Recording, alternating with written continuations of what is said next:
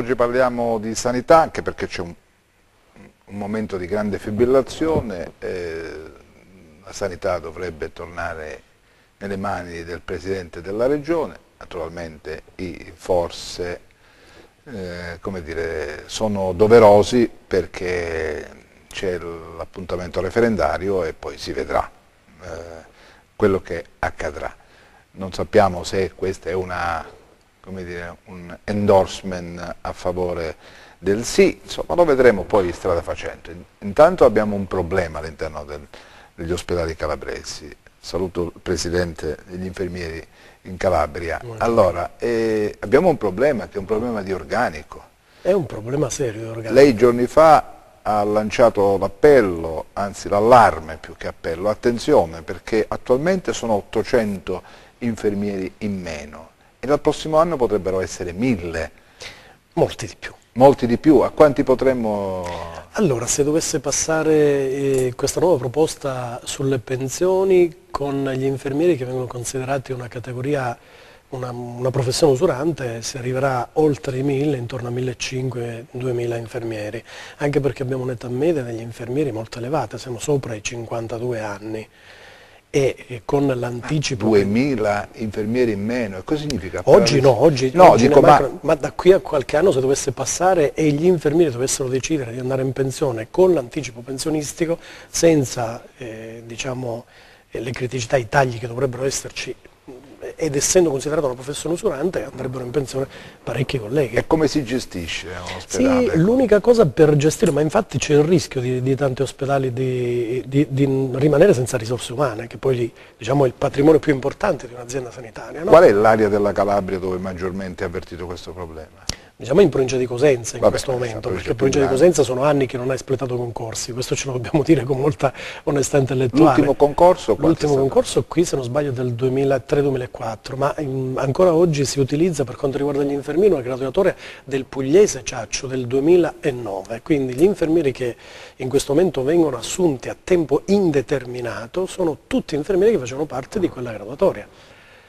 A parte quello sono state fatte anche delle mobilità extraregionale da parte dell'azienda ospedaliera di Cosenza, perché in questo dobbiamo stare pure molto attenti, perché molti dicono, dicono nella provincia di Cosenza, nelle province ci sono le aziende ospedaliere e le aziende territoriali, le aziende sanitarie provinciali che sono due aziende distinte e separate, anche su questo poi bisogna fare un po' di chiarezza. E, e quindi la mobilità extraregionale era dell'azienda ospedaliera e dell'azienda di Reggio Calabria e poi qualche residuo di qualche vecchio concorso, ma concorsi per assunzione a tempo indeterminato nella provincia di Cosenza non ce ne sono. Ci sono eh, delle graduatorie per sostituzioni di, di malattie, per, ma sono tutte cose a tempo determinato che non risolvono il Attualmente quanti sono gli infermieri impiegati nei nosocomi calabresi? Eh, diverse, credo arriviamo intorno a 10, intorno a 10.000, perché solo pensare che nella... nella 10.000? Sì, negli ospedali, io quando parlo di, di, impiegati metto anche la sanità privata, perché anche nella sanità privata c'è una, una quota abbastanza consistente di, di, infermieri che sono impiegati a tempo indeterminato, paradossalmente anche nella sanità privata e molti lavorano anche come liberi professionisti nella sanità privata perché gli infermieri possono, anche, possono esercitare anche il regime di libera professione. Sono, sono tantissimi, al tempo stesso però bisogna dire che oggi sono oggi a quest'ora di questo giorno per garantire la normativa europea sull'orario di lavoro e quindi su riposi e quant'altro, mancano circa 800 infermieri solo in Calabria, sono in Calabria 800 infermieri.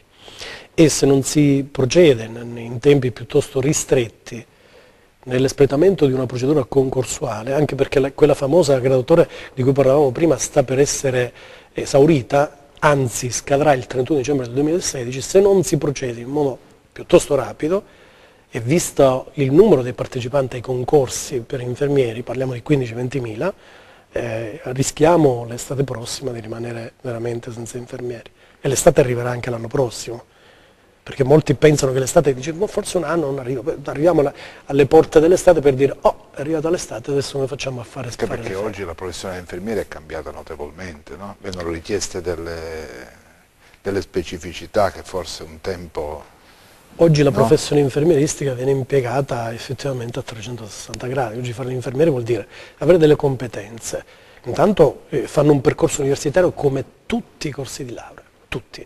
Fanno la laurea triennale, la specialistica, il dottorato di ricerca, in mezzo la formazione specialistica con i master di primo e di secondo livello. Quindi è un percorso formativo completo.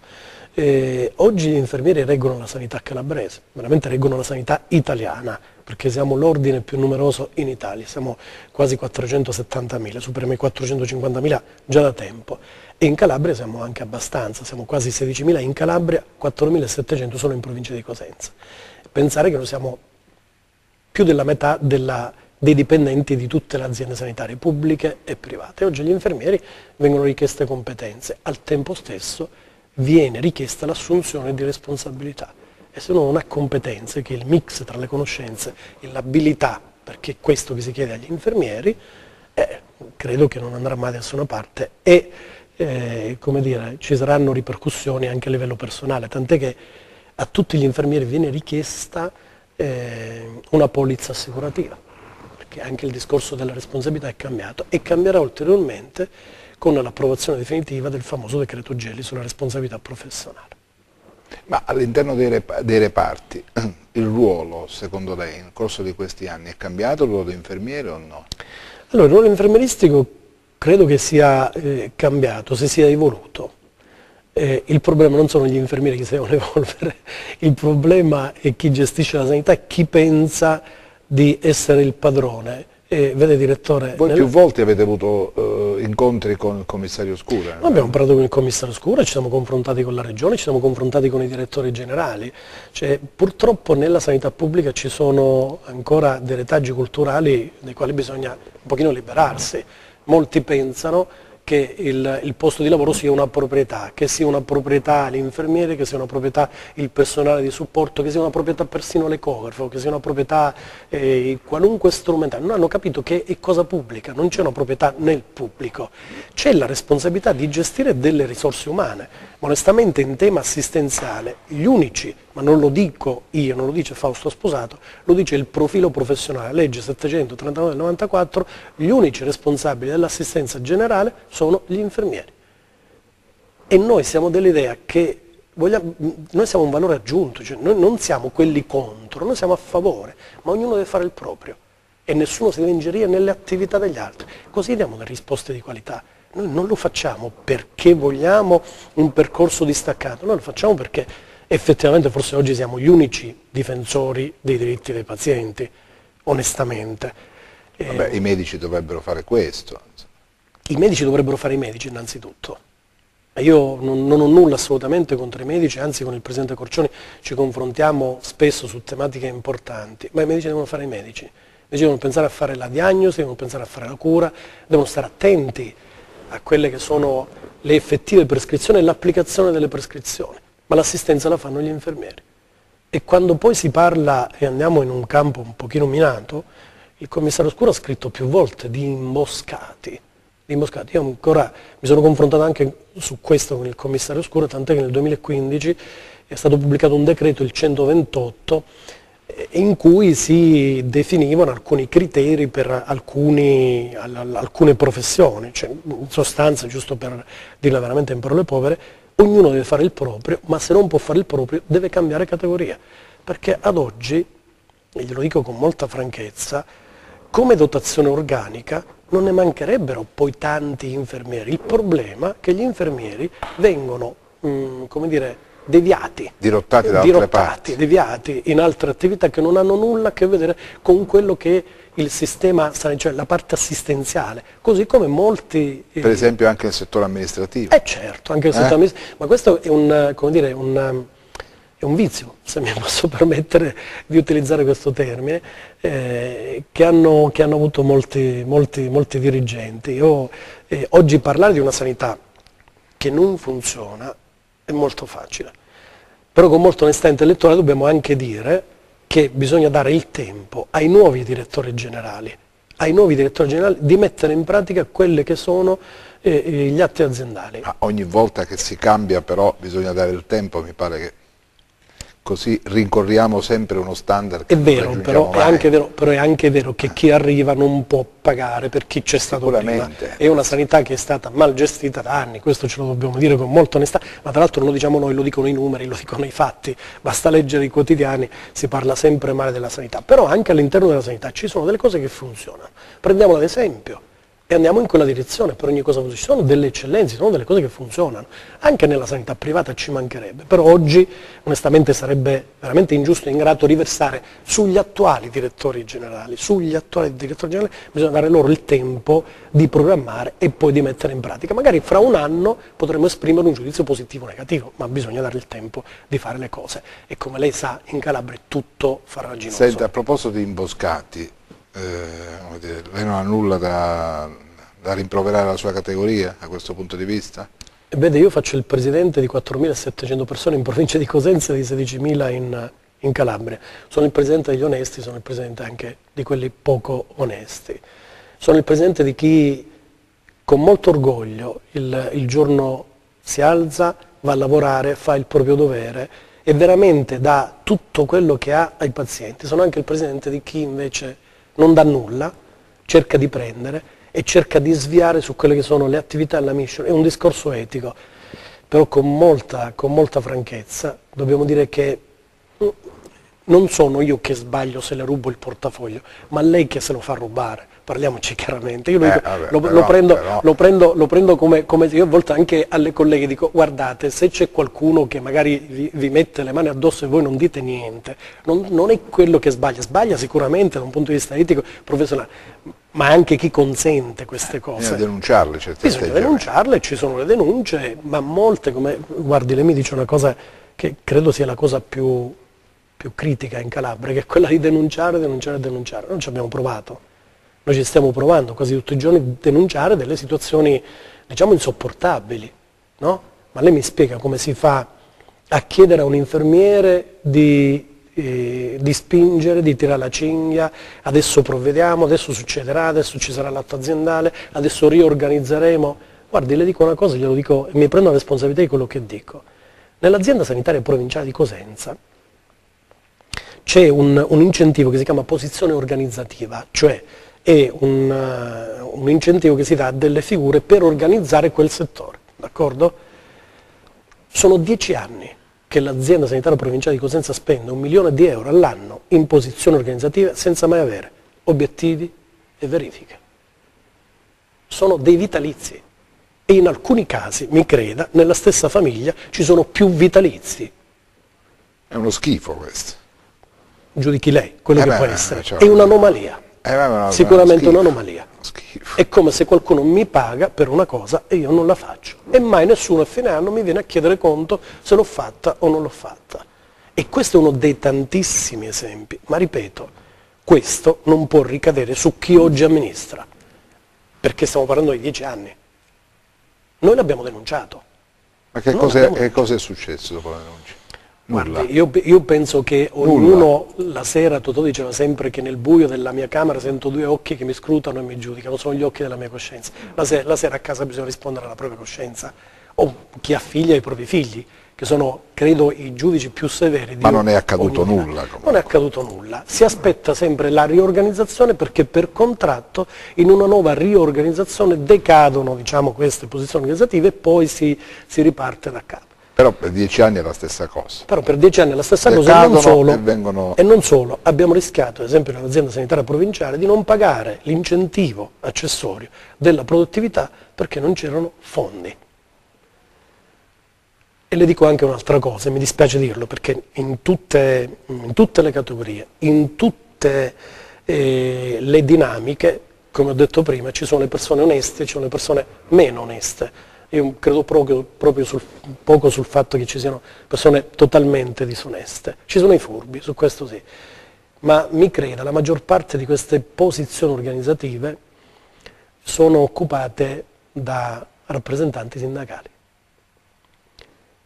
Faccia lei, tragga lei le sue conclusioni. È normale che a nessuno mai porterà l'attenzione una cosa del genere, ma sono cose importanti. E allora bisogna dare delle risposte. Tra l'altro l'IPASVI che rappresento e che mi onoro di rappresentare, non, non può ingerirsi in queste attività perché sono attività sindacali. Noi possiamo solo parlare della professione. Cioè controllare e, controllo, e controllato, insomma. Noi controllore e controllato. Noi ci occupiamo di decoro della professione ed è quello che vogliamo rispettare in quest'anno. Ma ci sono tante anomalie all'interno del sistema, eh? Anomalie ce ne sono, a voglia, insomma, se uno le cerca ne trova tantissime anomalie. Eppure le posso dire una cosa, che ci sono anche all'interno di, di, queste diciamo, anomalie delle persone per bene, delle persone che lavorano, delle persone che fanno il loro sì, dovere, il loro lavoro e sono quelle persone che quando incontrano gli utenti per strada gli stringono la mano. Senta, secondo lei si è anche un po' esagerato con eh, la 104? No? L'istituto della 104 andrebbe rivisto rivisto, nel senso quello che dicevamo prima sul controllo, vede c'è nel sistema aziendale, nel sistema manageriale, c'è un, un elemento importante che si chiama controllo di gestione. È questo che devono fare i manager, il controllo di gestione, perché altrimenti non usciamo mai. È normale, se lei mi concede di usufruire della 104, per un mio bisnonno che è lontano a 1500 km, anche se la normativa è cambiata e ci sono state delle rivisitazioni e delle sentenze anche della Cassazione, io perché non dovrei approfittarne in tutta onestà? Se sono una persona poco etica lo faccio, a discapito dei colleghi, ma questo presuppone per una persona che gode di 104, non personale, perché la personale è facilmente dimostrabile ma, dimostrabile, ma verso terzi, di avere 36 giorni in un anno in più per restare a casa più 36 giorni di ferie sono 72 giorni, se lei li mette nelle giornate lavorative sono 3 mesi di assenza dal lavoro, perché sono 24 giorni lavorativi, sono 3 mesi di assenza. Ma ripeto, non, non sta a noi denunciare queste cose, a noi eh, sta a denunciare il fatto che c'è una carenza di organico, ma una carenza nei, nei processi assistenziali, e mi creda, con eh, l'età avanzata, l'età media avanzata degli infermieri, mi creda, è un'ulteriore criticità.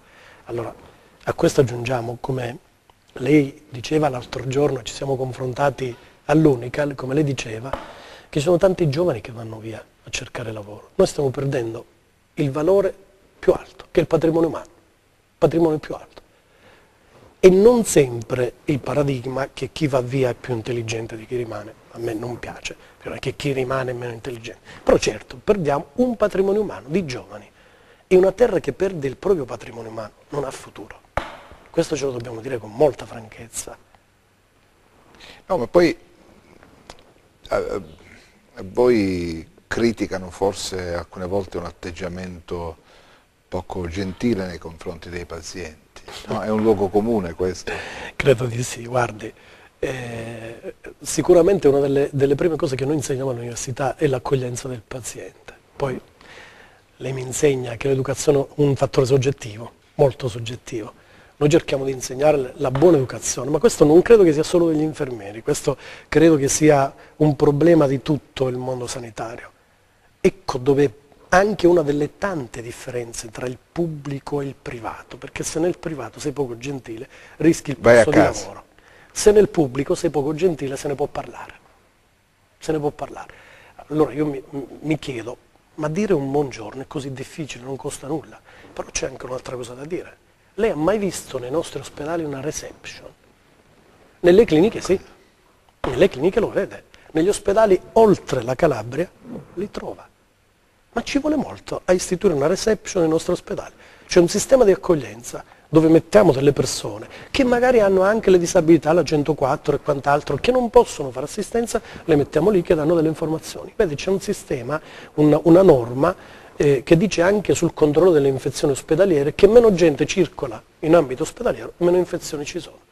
Però lei tutto il giorno, se va negli ospedali, soprattutto in quello di Cosenza dove c'è un, un afflusso enorme di persone, di utenti, trova tantissime persone che girano con un'impegnativa, con un foglio perché non sanno, non dove, sanno andare. dove, andare. Ma basterebbe poco, mettiamo una reception perché qualcuno arriva e chiede se il dottore sposato è in servizio. Se il dottore sposato, un attimo glielo faccio sapere, alzo il telefono, dottore sposato c'è pomeriggio, quindi può andare a casa in modo che non gira per tutto l'ospedale a chiedere al primo camice che incontra, alla prima divisa che incontra. Sono, mm, come dire, delle, delle soluzioni a costo zero. Gliene dico un'altra se vuole, che sono poi le criticità e che fanno effettivamente la differenza tra il pubblico e il privato. Ma chi si è mai preso la briga di andare a verificare se il pasto di un paziente è decente? Io non dico di ottima qualità, ma decente. Qualcuno forse lo fa, io non lo so, ma mi crede in molti casi questo non succede.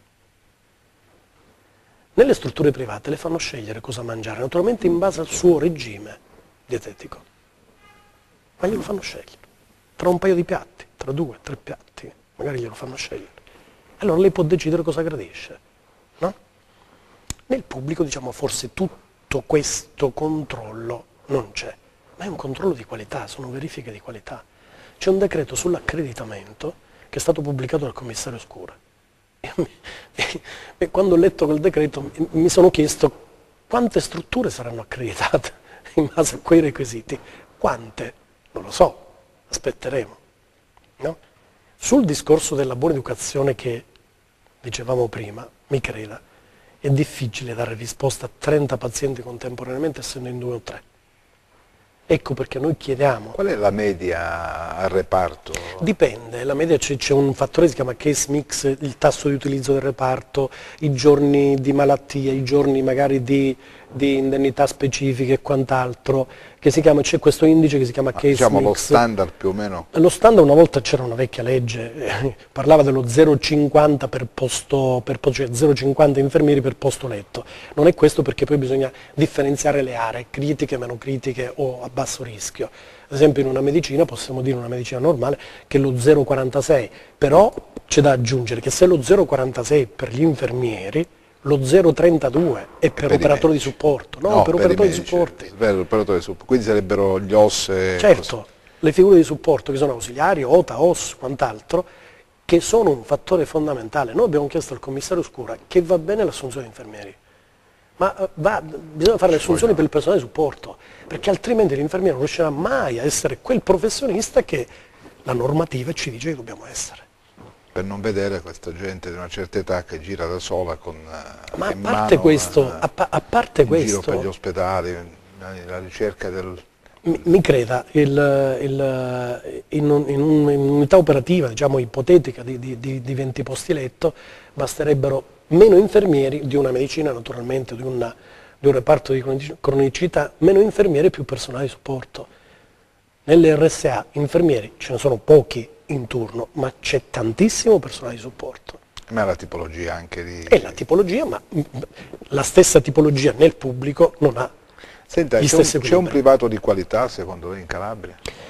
C'è un privato di qualità che si sta sviluppando, c'è un privato di qualità, abbiamo alcune testimonianze anche su Catanzaro, è- c'è un privato di qualità, sì, ma il privato di qualità è di qualità perché punta a creare profitto. Ecco, invece nel pubblico, visto che non si deve creare profitto, non capisco perché non si possa fare una sanità di qualità, ma c'è una sanità di qualità. Si può arrivare ad ottenerla anche nel pubblico, una risposta di questo tipo secondo Basta lei? parlare con gli attori del, del sistema, ma con i veri attori del sistema. E chi sono i veri attori del sistema secondo lei? Ma in questo momento io, io parlerei con gli infermieri, in questo momento, perché vede, Sono le- i veri attori del sistema, lei dice? secondo me sì, medici e infermieri sì, personale di supporto. Non me ne vogliano né il, il personale Tutto la- amministrativo tutto né l'apparato tecnico. burocratico, dirigenziale, lei dice che conosce forse poco Secondo la me sì, secondo me non sì. vive le Ma strutture. vede, se, se parla, guardi, se si parla di assistenza domiciliare, di questo si parla oggi, la nuova sanità domiciliare e quant'altro, assistenza domiciliare. Ritornando a quello che abbiamo detto siamo prima. all'anno zero. Cioè, se- ritornando a quello che abbiamo detto prima, se si parla di assistenza e gli unici deputati all'assistenza per il decreto 639 che abbiamo detto prima sono gli infermieri, ma perché non si parla con gli infermieri?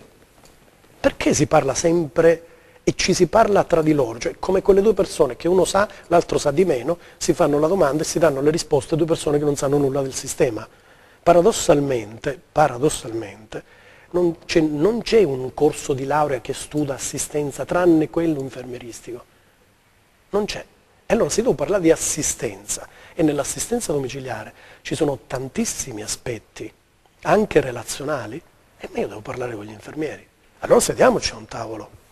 Cioè, gli infermieri vogliono solo fare gli infermieri, non vogliono fare i piccoli medici. Vabbè, ma lei interloquisce però con i vertici aziendali. Eh, qualcuno mi ha chiesto, eh, così prendiamo una battuta, siamo fatti a microfoni spenti, eh, come, mai alcune cose funzionano e altre meno. Io faccio un discorso generale, noi veniamo da una situazione attuale di 20-21 sistemi sanitari nazionali.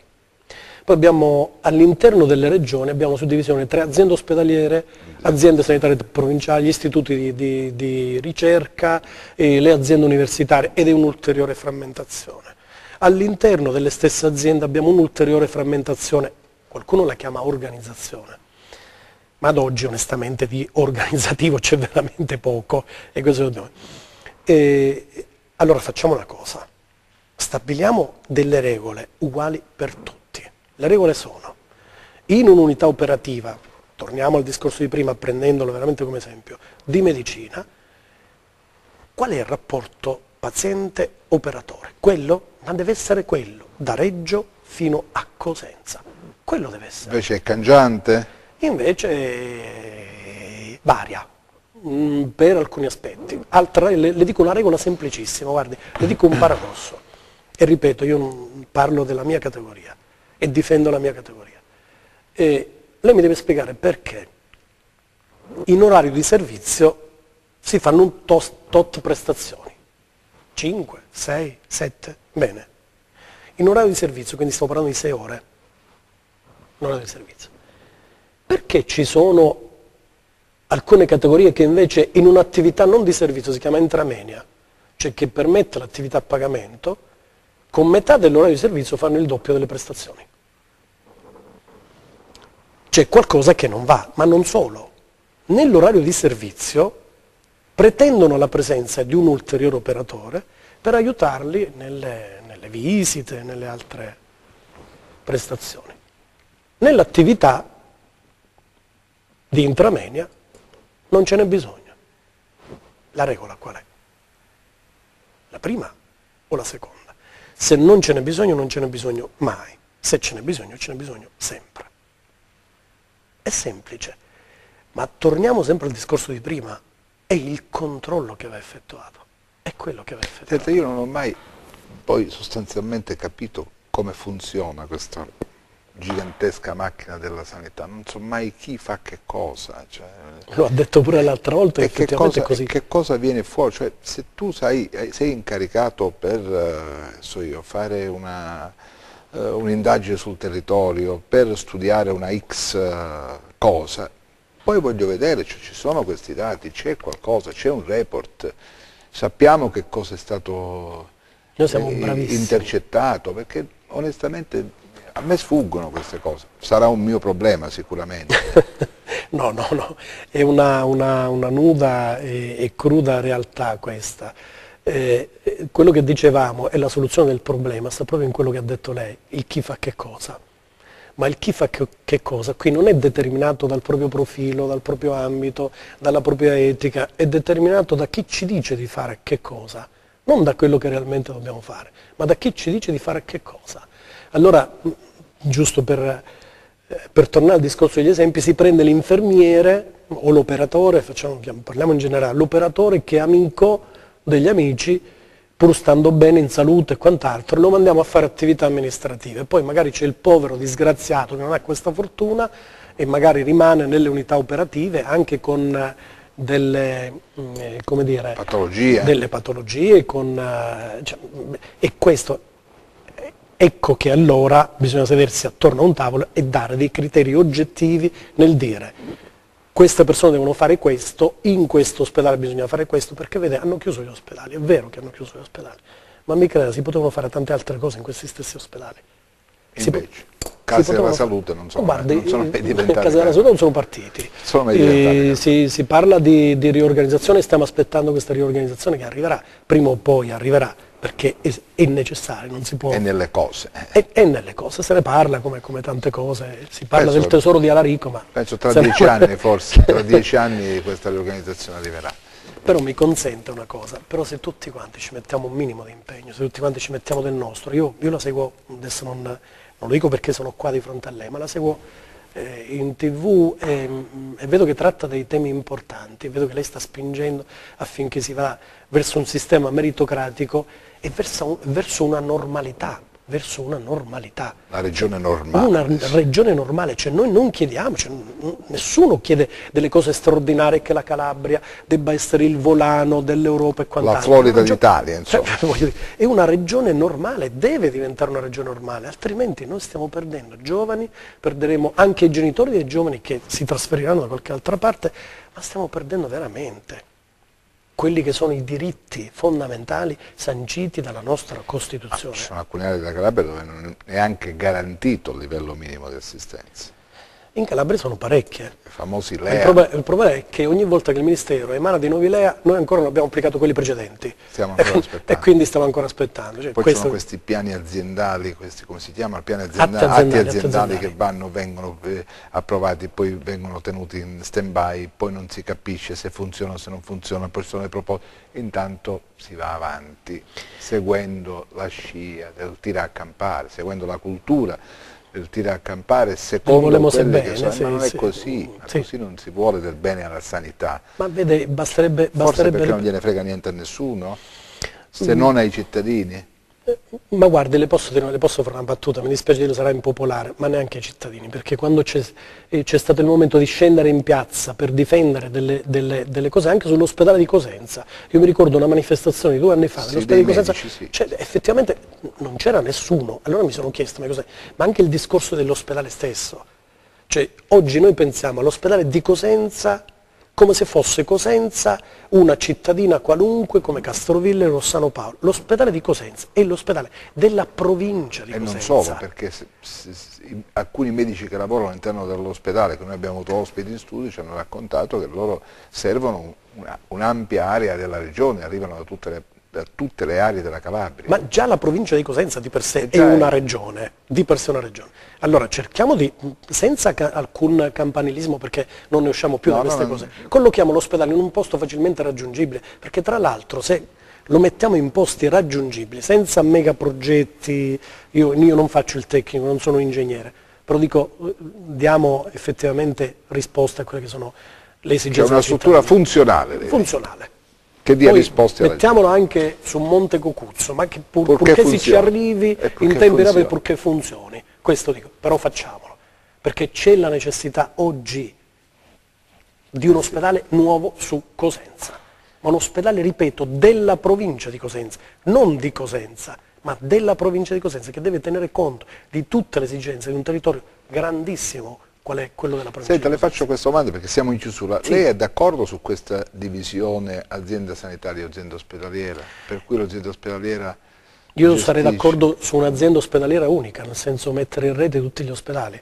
perché altrimenti parliamo di due aziende distinte e separate e di un'azienda territoriale che, che deve fare prevenzione. Le aziende non comunicano. Ma il problema è anche questo, ma anche un discorso di budget, cioè quello che succede nell'azienda sanitaria provinciale poi si, si riversa su quella che è l'azienda ospedaliera. Bisogna fare rete, ma costruirla veramente la rete, ma con gli attori del sistema, se lo ricordi. E gli infermieri, anche se come comparsa, ma ci sono, ma noi vogliamo essere Attualmente attori. di rete non c'è nemmeno l'ombra.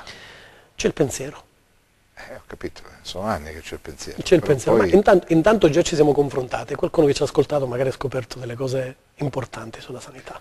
La ringrazio. A lei, eh? grazie. Torneremo presto su questi temi perché mi piace la sua schiettezza, la sua voglia di raccontare ciò che vive quotidianamente. Noi dobbiamo raccontare le perché cose... forse chi, chi, chi, ha compiti di responsabilità conosce poco come funziona la struttura sanitaria, forse dovrebbe, dovrebbe viverla di più, dovrebbe stare a contatto con gli operatori, ascoltarli, prendere appunti e poi nel momento in cui si va a prendere delle decisioni si tiene conto di quelle, di quelle eh, istanze che ha, ha intercettato nel corso di questo questa fase di apprendimento. Dalla... Ogni tanto leggo dei saggi di management perché c'ho sempre da apprendere.